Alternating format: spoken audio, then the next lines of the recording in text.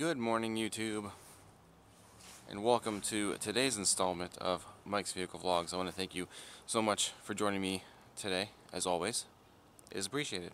So today we're going to make our first junkyard run uh, for the Aztek. Uh, it's the first junkyard run that I've had to actually make on this thing in a while since I've started driving it. Um, yeah, one of my favorite uh, one of my favorite functions of the car broke on me a couple of nights ago, and I am highly highly upset about it. So, to be quite honest, whether this junkyard run is going to be a success or not, I don't know. but it's worth a shot anyway. If they have what I'm looking for, I believe it's only $20. And as of right now, $20 is looking a lot more better than the hundred and some dollars that I might have to spend on a new one. So, um, I haven't driven it in a few days. This will be its first start. Like I said, in a few days. I'm also going to, as you can see, our towels down. And uh, we, you know, we got it rained yesterday and we got snow and stuff. So as you can see, I'm still getting water inside the car. Um, I can't have this anymore. This is getting ridiculous. So, for the time being, guys, I think I'm, uh, I think I'm going to seal the sunroof uh, with some silicone, um, and then maybe sometime down the road, depending on how long I have the car, maybe I'll, I'll actually pay a service to um, fix this properly. I don't know why this keeps happening. I I did clean out the drains I know this drain is, um, for some reason, you can't see it, but it is. It keeps coming out of the wherever it should be to drain. So that's why the floor is all wet, is because it's dripping onto the carpet from inside the the pillar there. Um, but I don't know. And for some reason, I'm still getting water coming through the sunroof button like it is today. That's why the towel was down. I tried readjusting the window I wonder if maybe the seal is bad or something, but I think um, I'd like to do it today, but it might be kind of difficult. Um, if it stays dry a little later, we're going to buy some silicone and we're going to seal the window up. And then that way, I think um, when it comes time to be fixed, I don't think silicone is too bad to, to remove and, and deal with. Um, or I might just leave it and say screw it. Uh, I do like having a functional sunroof. But this is it's ruining what it's ruining what's left of the goodness of this interior and I can't I can't I can't do it. So if we're if that's the route we got to take then that's the route we're to take. Let me turn that down real quick. Here we go. First start up in like, I don't know, almost three days she starts like a champ. She starts like a champ after everything this car has been through. It is amazing. Um, we just passed our 2,000 mile mark not that long ago. So 2,000 miles since we've started driving it. We are at 172,567. Um, what else? The windshield is cracked. Um, I don't know if I mentioned that to you guys yet. My windshield cracked. And it was... It, it's been a few hundred miles now or so. Maybe a little bit longer than that. But it started off... Uh, there's snow and stuff. I don't know if you can see it. Right about there. Something hit the windshield really hard to tell. Yeah, you can kind of see it. So something hit my windshield and it cracked all along here. It's, it's kind of faint right now. You can see a lot better on the inside, but it started cracking along the bottom on this side and eventually, within a matter of days, it cracked its way over to the driver's side. Luckily, it's toward the bottom of the windshield. It's not running into my uh, line of sight or you know something so you can really see it there and she goes down there and I'm sure it's probably cracked elsewhere. So the kicker is you guys know I just had the windshield resealed. I had a company reseal the windshield for me because um, we were getting water through the very top where the weather stripping and over here where the weather stripping was uh, coming off. So they resealed it from the inside and the outside. And it was literally probably about a week, week and a half later, the crack showed up on that side. So something hit it at some point. I don't know when it was. So the windshield is cracked. I told the guy who did the windshield, I said, it, you know, it cracked. And um, he said I shouldn't have to worry about the water getting in or anything like that. Um, he said if you can if you can you know if it's not in your way or anything like that you can live with it and honestly guys i'm gonna live with it I'm not putting a windshield on this car unless I absolutely have to. Um, it's not even the original windshield anyway. It was it was replaced once before. So we're just going to deal with it as is. And now for the kicker, the the situation that I want to tell you guys about. The reason why I am going to the junkyard uh, today. The six disc CD changer drive broke on me. Guys, this is probably my most favorite thing in the car is the sound system and not just any sound system this is the top end AM FM 6 disc CD changer with the 10 speaker Pioneer sound system uh, I'm a little peeved because the 6 disc mechanism in this specific stereo I had changed when I bought the car and I found a good working one and what happened was I went to go put a CD in the other day. So I ejected one of the discs out of it and I hit the load button. It told me to insert the new CD, put the new CD in, and something inside, once it took the CD, something went crack, and then the mechanism was making all kinds of weird noises and whatnot. And I was ticked, guys. I mean, I was absolutely peeved when that happened. So needless to say, what I'm going to try to do today is uh, we're going to go to the local U-Pull-It over in Youngstown. They have three Azteks on their lot at the moment. Uh, an 01, an 04, and I think an 05 if I'm not mistaken.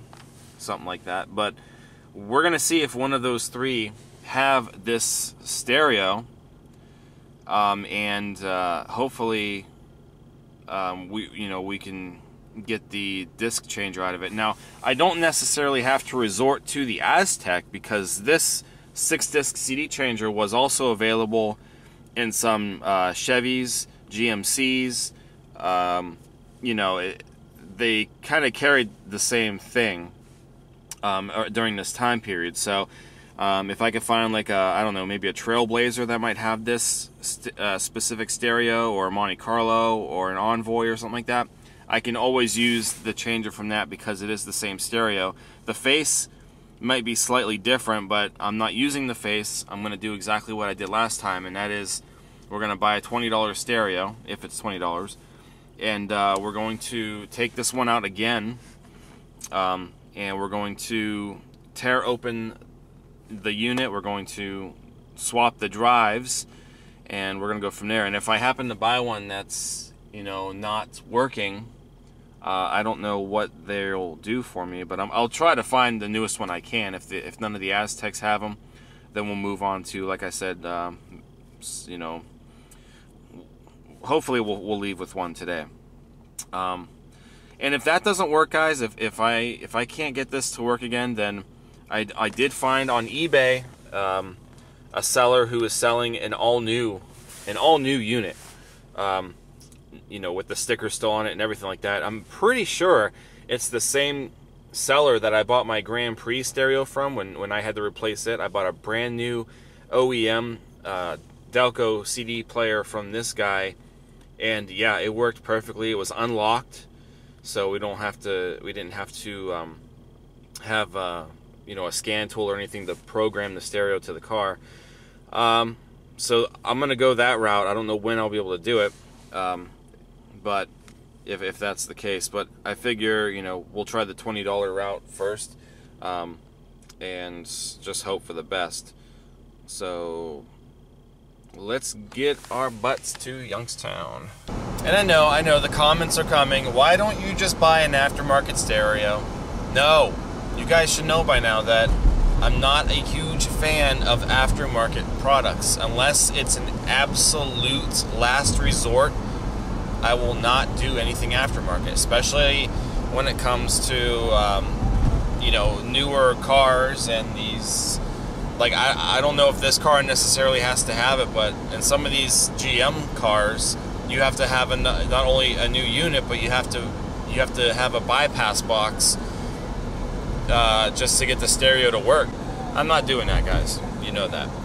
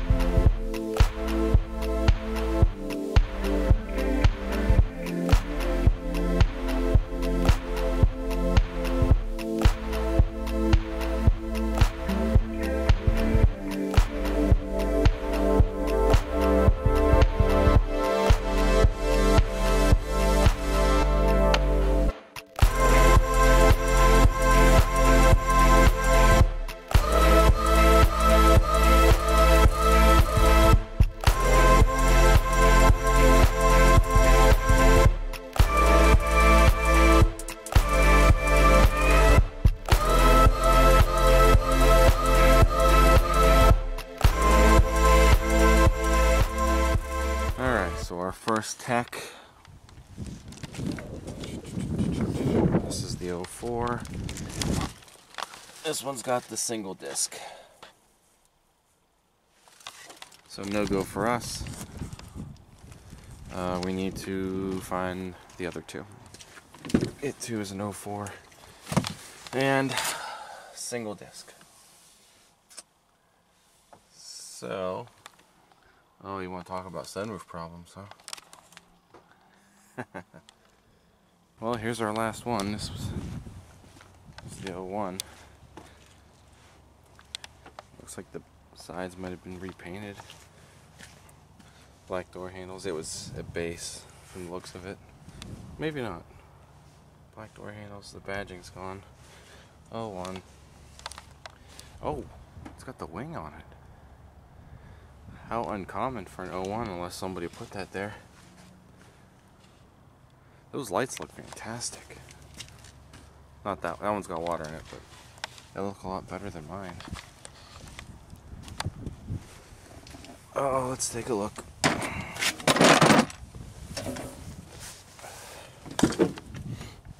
Ooh, Ooh we got the leather. Ooh, we got the leather, guys. We don't have a stereo. Stereo's gone.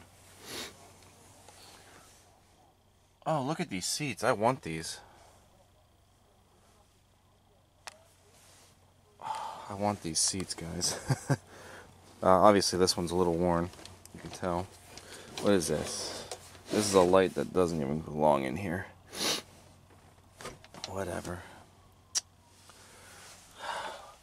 Looking mirror.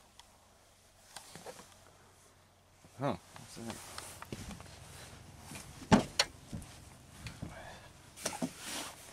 Oh, they painted the bezel. That's kind of cool.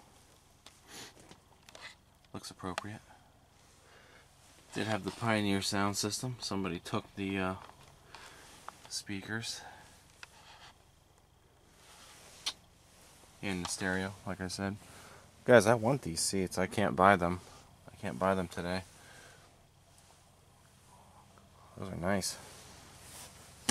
the leather is hard to come by, I believe. This door doesn't want to shut. There we go. Wow. Okay, so no CD player. Um, we're gonna have to uh, scour some other GM vehicles. Oh guys, I've been scouring so many GM cars looking for this six disc CD changer. Every one that I was looking in either had the single disc from that time period or it had uh, no stereo. But just as I was getting ready to leave, I found this 06 Buick Rendezvous. Wouldn't you know, it's got the six disc that I'm looking for. Now the only thing I'm not too happy about is the fact that it's already opened up. Um, hopefully that sunroof wasn't leaking or anything because that water's going to go right down onto there. Windshield cracked. Um, I obviously don't want to get into this car. But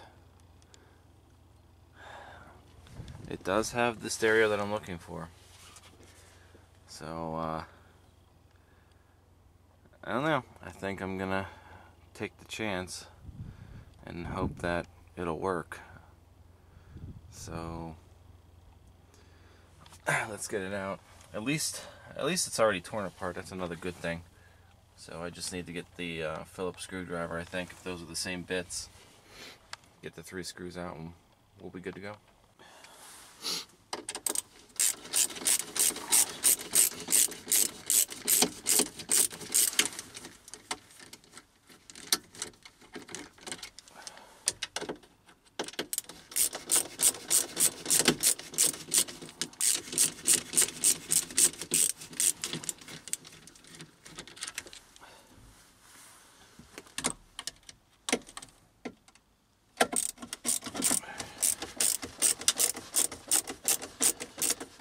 guys, it's colder out here than I thought it was going to be.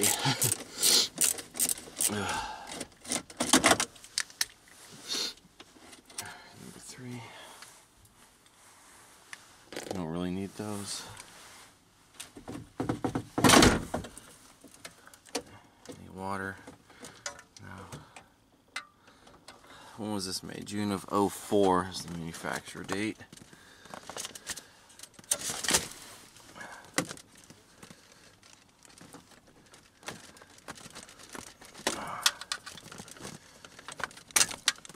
That one's got an additional uh, wiring harness that goes to it. I wonder why.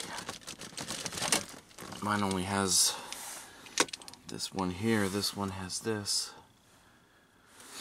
But that shouldn't affect the disk drive. Okay. Well, let's take the chance and see what happens. Alright guys, there we go. We got our stereo. Um, we will be uh, putting that changer in today. From here, uh, we're gonna go to my mom's because uh, there's a bookshelf that I actually have had for years and years and years and years, and um, it was actually my sister was using it for uh, a while when she was still living at home, and my when my sister moved out, it's not getting used anymore and we can use it in our one spare room of the house.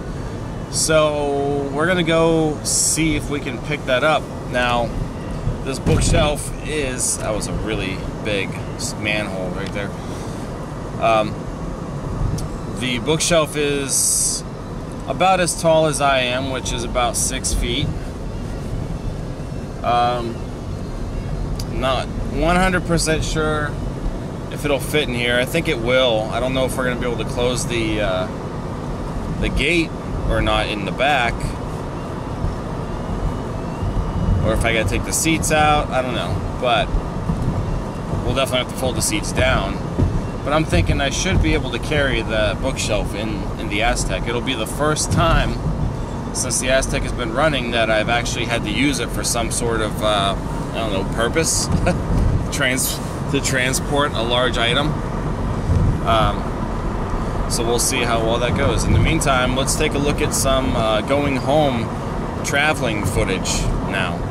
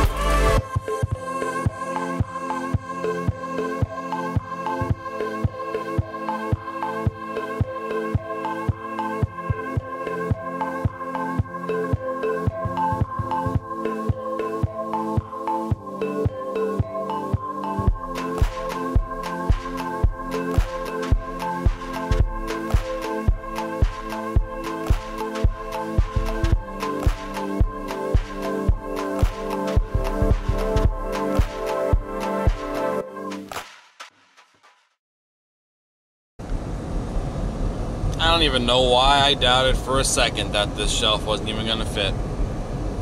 With the hatch closed, the Aztek is king. Now that shelf is just a little over six feet, I believe. It's uh, I'm about six feet tall. It is slightly a couple inches taller than me. I did have to move the passenger seat up just a little bit, but even uh, even before I moved the seat up, it pretty much sat all the way into the car, but the hatch was just a little, little tiny bit off from closing. So bumped up the seat a little bit, and she is in. Let's go home now. Try to get this stereo to work. All right, we're home now. Uh, let's get to it.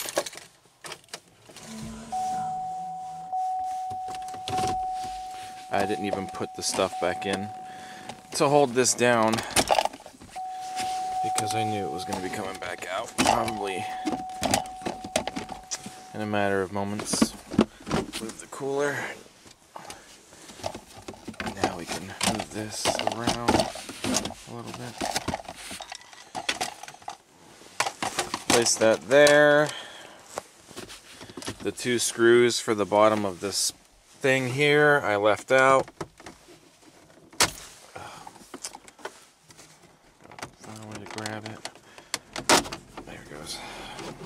One of these days I'm probably going to end up breaking it. Hope not. There we go. Open the door, kill the power. Look at how easy and fast this is. It's like I've done this so many times. I could probably do this with my eyes closed at this point. I mean, sheesh. Make sure these don't fall out onto the floor where we can't get them. So I am seriously contemplating on um, getting those leather seats.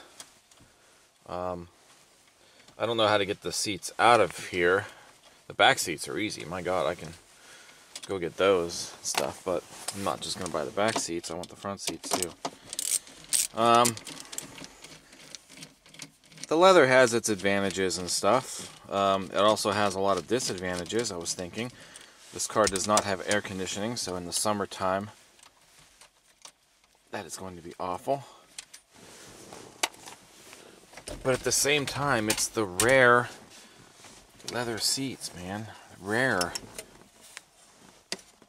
Okay, antenna.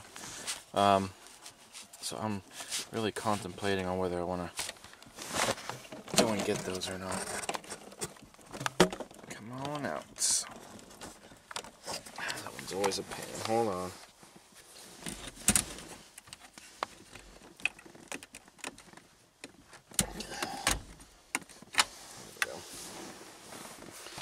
See this, this this stereo has that port also. Oh, maybe it's the rear audio controls. That Rendezvous did have rear audio um, in the center console. That's probably what this is. This doesn't have that, so. Okay, we got our stereo. Um, our new, slightly used stereo is right here. Let's go see if we can swap disk drives and hope that it works. Okay. Mine, new one. See the slots are still there. Here's the face. They're exactly the same behind them. Gotta be careful with the pins. Those pins go directly into the board for your front functions. So now there's two bolts on the front of each of these. There's two bolts on the back of each of these. I think. Make Sure that there's yeah, two and two and two, and I think it's that 3 sixteenths again. It is. So let's go ahead and take these out and get them swapped. Okay, old one, um, new one.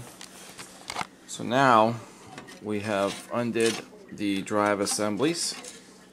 You can see they are both loose. Ah, come on, there we go. Now basically the only other thing that we need to do now to completely remove these is we need to undo this very tiny wiring connector. Might, oh, there we go. And, uh, oh. oh, that's not good. I broke that one. Shoot. Anyway, so here's the old one. Hollow. Destroyed. And our new one. It's got the slots, got the springs, all that stuff. Um, where's that little arm at? Can you see that? What arm broke? I don't see it. It's it was it was from this side. You can kind of see some of the assembly, but there's an arm there. I think that's it right there. Yeah, that little plastic arm. That's what broke. I think that's maybe what pushes the CD toward the uh, the drive, like the uh, rollers. So maybe that's why it wasn't doing anything. So uh, we'll go ahead and plug it in, and I guess uh, if need be, I could always I could swap that too. Maybe I will just to be on the safe side. It's the exact same uh, wiring, so I might pull that from here because I can't believe that tore. Okay, so it's all tied down. Hooked up, switched the little harness. I just stuck this one here for the time being. And like I said, we'll take the broken one. We'll just let it sit in there. Hopefully this will work. Um, so we'll get the face back on it. And we'll take it outside and hook it back up and see what happens. Okay guys, so she's plugged in. Our accessories going. Uh, so it does say there's discs inside. Let's see if we can reset this.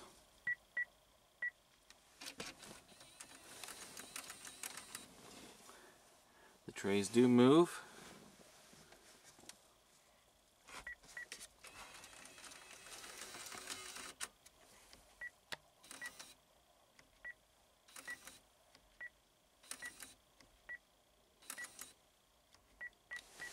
Okay, so we reset that, so there's it knows that there's nothing in there.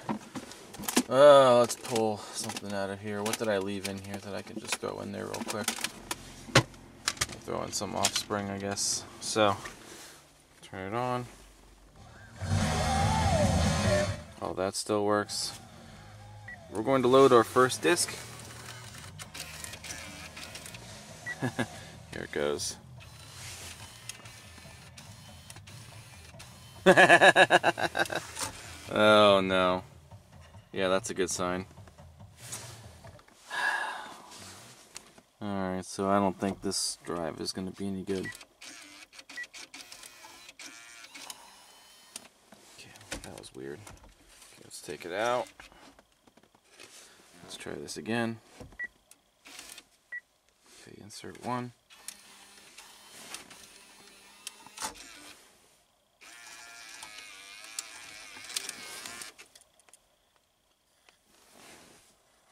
Okay, it's playing. Uh, okay, so that's a little weird. I wonder what the deal is with that.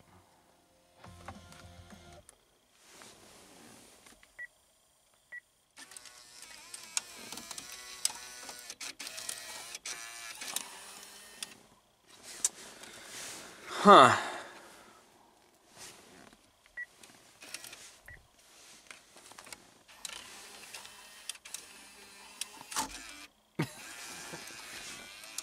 Try to load another disc on top of that one.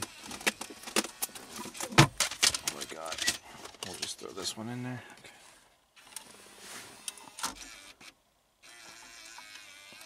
Okay, okay so just the first disc it does that?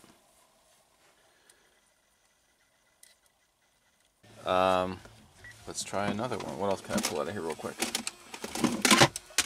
I just got a bunch of random CDs in here. We'll try this one here. Okay, so they all seem to go in just fine. That first one acts a little weird. Okay, so we got that to play. Now let's go back to our first disc here.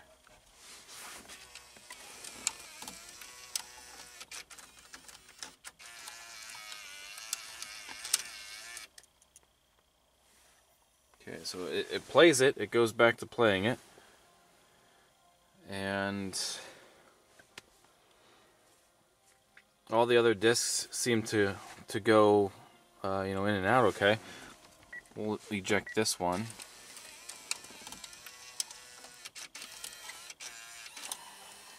okay so that's out it's going to pick up disc 2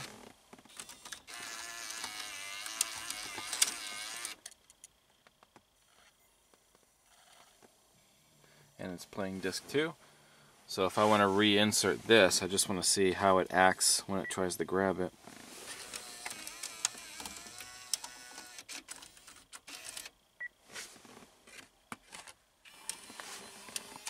Perfectly fine.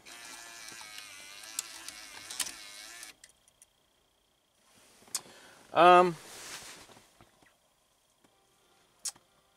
okay, well, I'm I'm going to consider this a win. I mean, for 20 bucks, um, it is changing the discs. It seems to be playing okay. Um, I don't know what the deal is with the one, you know, wanting to come back out and stuff. Maybe it was a, a learning procedure, or maybe there is going to be another issue down the road. But, um, I mean, for the most part, it, it seems to be doing its job okay. Let's go to number three.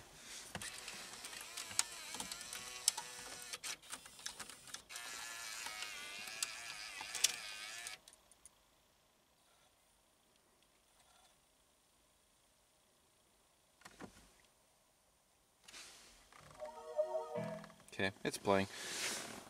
Um, all right.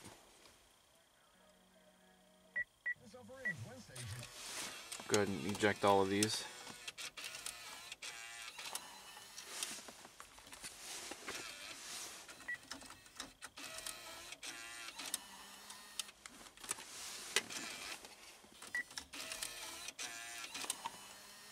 Okay.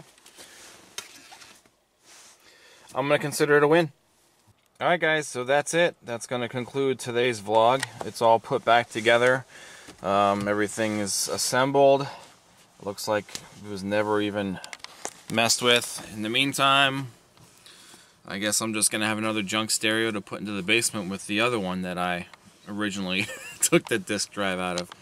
Um, so yeah, hopefully this will last, you know, a while. Um, it seems to be operating fine uh, for the time being, and hopefully I'll be able to get you know a lot of use out of it before it decides to to crap out on me. Uh, hopefully it won't crap out at all. But um, yeah, that was a tough find, man. Every every damn vehicle that I tried to find from that specific time period just did not seem to have this. And then I was about to call it quits, and I saw that last Rendezvous sitting there, and looked in it, and there it was. So it worked out. It's working out pretty well at the time, and uh, that's pretty much all that I've got for today, guys. So I hope that you enjoyed this vlog. You know, we made a trip to the junkyard, got to look at a couple of other Azteks real quick, and we got to haul something in the Aztek for the first time, something useful. And it did a really, really good job. So guys, that's it. Uh, if you guys enjoyed this, don't forget to give this video a thumbs up. Don't forget to comment. Don't forget to subscribe. Also check out teespring.com slash stores slash Mike's Vehicle Spotlight for all of your MVS and vlog merchandise. That's it. I'm going to go do something else now. So I will see you guys next time. Thank you so much again for watching. Take care.